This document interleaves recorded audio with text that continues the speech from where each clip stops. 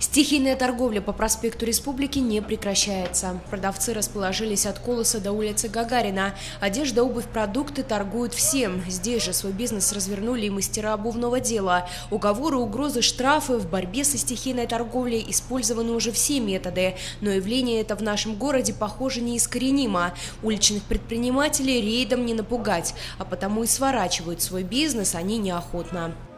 Платим, все платим. Санстанциям платим, и налог платим каждый день. Ежемесячно вот это налога тоже платим. Все платим. Мы со, вот наша граница. Вот сидим здесь стоим. Туда не выходим, никому не мешаем. На людей в форме продавцы реагируют по-разному. Одни спасаются бегством, оставив при этом весь товар. Другие, вместо того, чтобы подчиниться блюстителям порядка, вступают в словесную перепалку.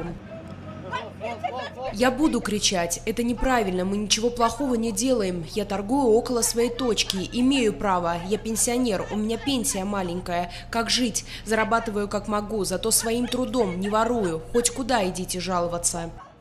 С начала года по городу было выявлено и оформлено 1200 протоколов по торговле в неустановленных местах. Теперь нарушителям придется выплатить штраф в размере от 5 до 8 МРП. В опорный пункт, там проверяем специально данные. И сразу какой час, первый, второй выходит сразу. И сразу заполняем протокол.